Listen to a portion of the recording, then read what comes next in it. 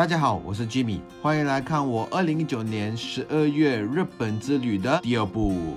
今天是一天鬼怒川温泉的玩一玩哦。首先，我先跟你们介绍我这次住的地方，Hotel Nikko Station Two，好像是刚新建不久。我一个人一个晚上，马币大概两百块，而且它离东武热光站走路才五分钟。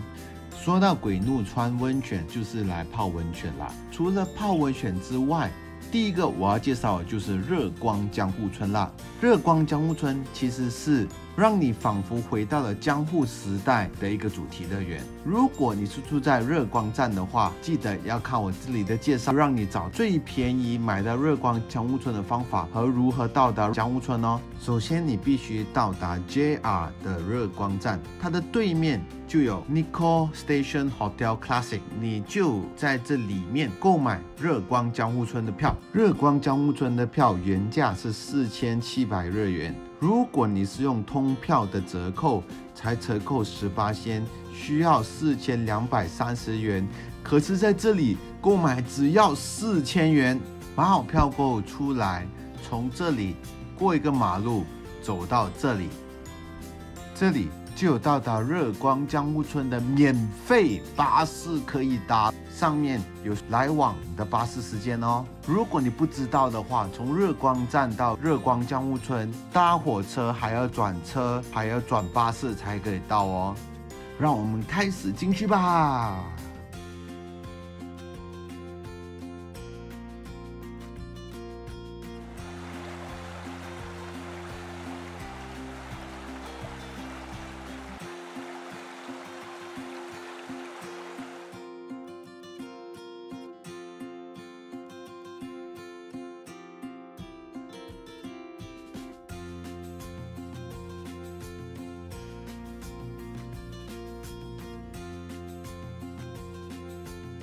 里面呢刚好有 Oiran 花魁的游行，我给你们看一看吧。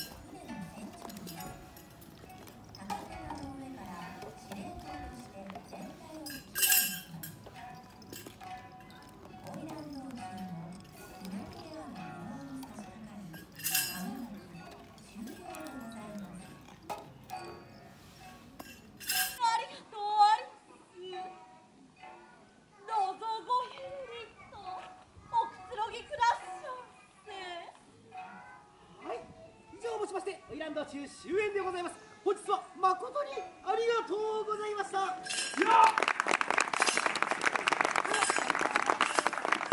之后呢，我们也可以进去看他的一个舞台剧和表演哦。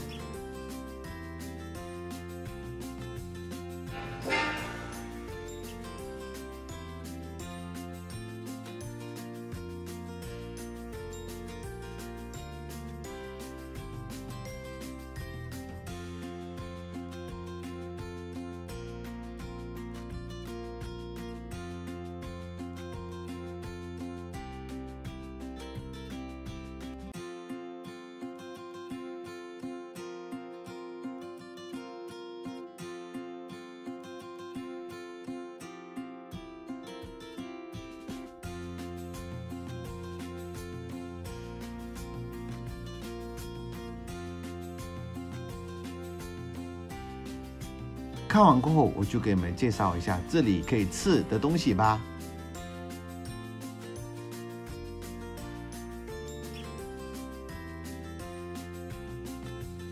刚好在这个月，他们推出一个限定的江户前火锅，看起来好好吃呢。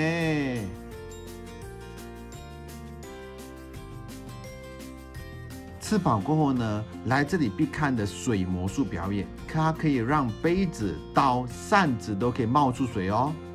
来这里除了看表演，也有一些博物馆，甚至你可以学武士刀。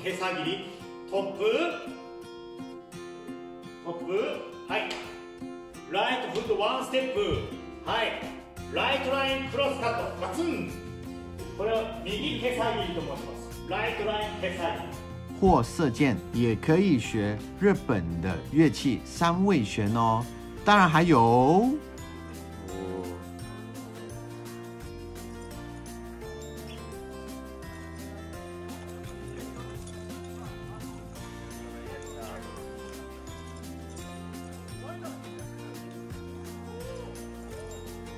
就是忍者啦，而且你还必须要通过这个迷宫哦。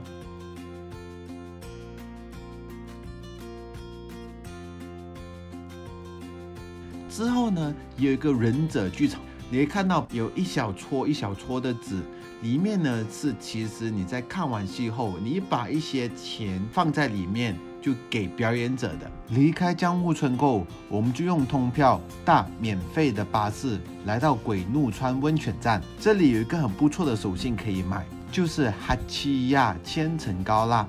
立木县的草莓是日本最出名的，所以他们最新推出的草莓千层糕吃起来也特别的香哦。在这车站前面就有一个免费的竹汤可以泡哦，这冷冷的天气泡着温泉，真是享受啊！我们晚上来到的景点就是东吴世界广场了。它以二十五分之一把世界出名的所有的地方和建筑物放在一起，让大家一起看哦。每一年的十一月到第二年的三月尾，开放晚上的时间让大家进去参观哦。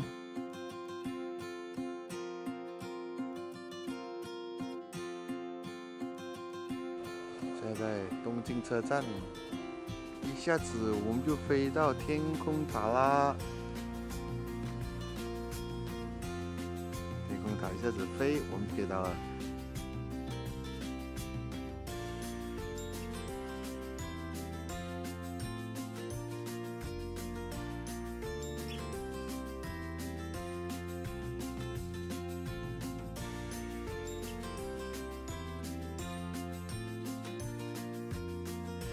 大家在参观完东武世界广场过后，肚子饿的话，建议你们走路十分钟就有一家开到半夜的 Cafe Castle，食物的选择很多，而且也很不错吃哦。最后呢，给你们分享从热光站回浅草站的所有的火车的时间吧。跨湖的表示你必须要在下津市转火车哦。那么我的这一节影片就到这里了。明天呢，我就在回去的火车的时候介绍日本的火车便当哦。如果你们喜欢这集我的影片的话，记得按赞、分享和订阅我的频道哦。那我们下一天见。